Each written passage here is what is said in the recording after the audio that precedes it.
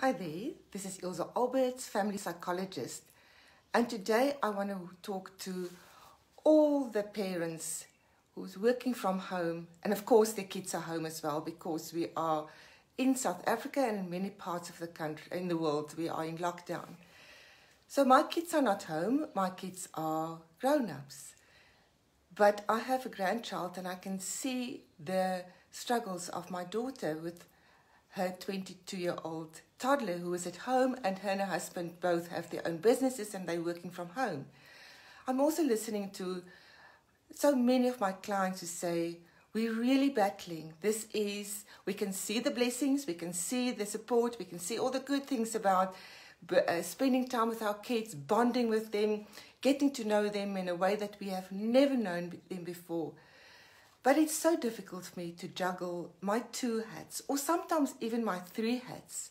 My hat as being a career person, my hat as a parent, and then my hat as a spouse as well.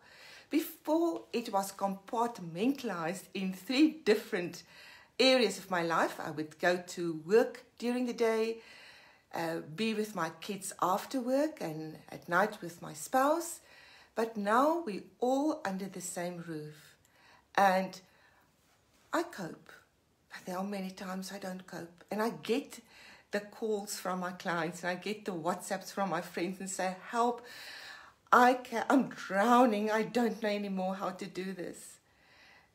So for all the parents out there, I have posted my blog, struggling with balancing being a parent and working from home go and read my blog on my Ilze Alberts page, my Ilze Alberts um, profile, as well as my Facebook group called Families Extraordinary.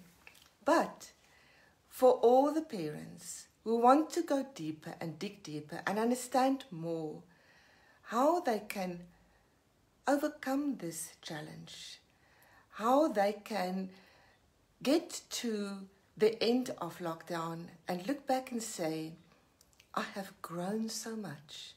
I have, I have learned so many life skills. I've added so many more tools in my toolbox. And I'm so grateful that this happened to me. I'm so grateful that I had to work from home and had my kids at school, at home, pardon me, and to home teach them as well. So on Monday morning, the 25th of May at 12 o'clock South African time, I'm going to do a Facebook Live on wearing the hat of career person, parent, and spouse.